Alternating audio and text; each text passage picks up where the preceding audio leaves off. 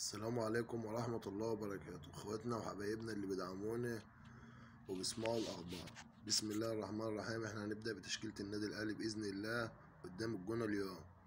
في حراسة المرمى محمد الشناوي في الشمال علي معلول في محمد عبد المنعم ياسر إبراهيم محمد هاني خط الوسط مروان عطية إمام عاشور أحمد نبيل كوكا. في الهجوم بيرسي تاو حسين الشحات خط الهجوم المهاجم ال- اللي ما نعرفش نوعه إيه اللي هو جايبه لنا دي. ما علينا تاني حاجة الناس اللي قاعدة تتكلم وتقول لك الأخلاقيا والأخلاقيا والأخلاقيا يا جماعة أنا أول واحد كنت نفسي اللي هو ما يتضموش أحمد فتوح ومحمد صبحي. مبدئيا عشان محمد صبحي أحمد شوبير أحسن مصطفى شوبير أحسن منه تاني حاجة أنتوا نفس الناس اللي اتكلمت أيام مع عصام الحضرة وكل الأهلاوية قال لك المفروض كابتن حسن شحاتة ما يضموه بس للأسف كابتن حسن شحاته ضمه. أنتوا نفس الناس. رضا عبد العالي هو هو الشخص اللي بيتكلم. كل الزملكاوية كل الناس هي هي نفس الناس اللي بتتكلم في أيام المشكلة بتاع عصام الحضري. نقول اخلاقيا ومش اخلاقيا وكان ومان كلكم. ما تحاولش تغير كلامك مرتين أنا أول واحد نفسي الزمالك ينجح والأهلي ينجح. لأن راجل محايد أنا أهلاوي صماء.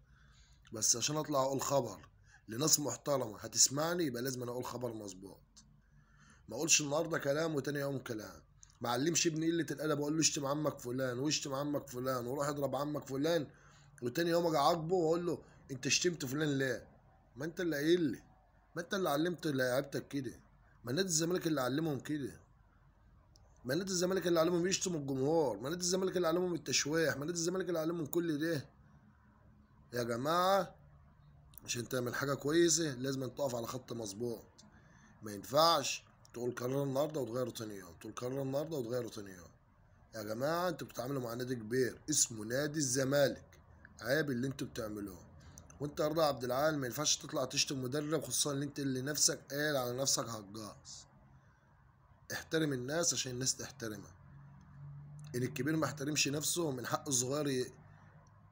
إنه يقل منه وإنت حو... بتقل منك دايما. فعال الكرة المصرية بتنهض إنت كده هتخليها تنهار. أحلى منها الساعة الناس المحترمة. ويا ريت كله يدعمنا.